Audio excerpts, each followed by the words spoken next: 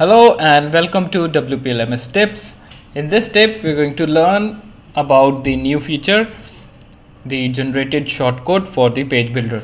Using the generated shortcode feature of the page builder you can extract the page builder elements and paste them in any WP editor. So let's get started. So for this we are going to create a sample page. Now this page is only for testing purpose. And we are going to enable the page builder. Next we are going to drag a a page builder block. And then we are going to customize it. So once we have done all the settings when we click on save. We see a generated shortcode link. Now when we expand this you can see that we have a shortcode for our carousel that we just created.